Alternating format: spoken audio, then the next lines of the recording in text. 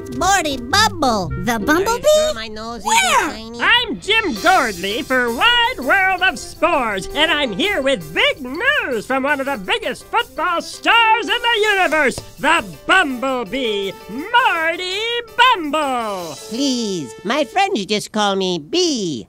What's this about your retirement? It is true. I am hanging up whatever you call my football shoes forever.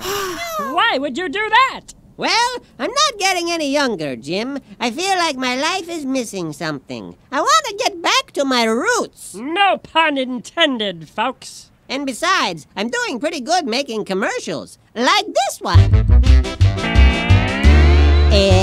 If you're like me, you often dream of crunching while you eat ice cream. It's munchy dream, it's not ice cream, it's creamy, crunchy, sweets. It's an explosion made of taste, it's like a horse race in your face. It's no disgrace, so buy a case of creamy, crunchy, crunchy, creamy taste buds and a bunch of dreamy, sugar sweeted, crunchy, munchy dreams. Munchy Dream is not a toy and should not be handled unsupervised by small children. Wow, that was. I know, almost makes me want to buy a box.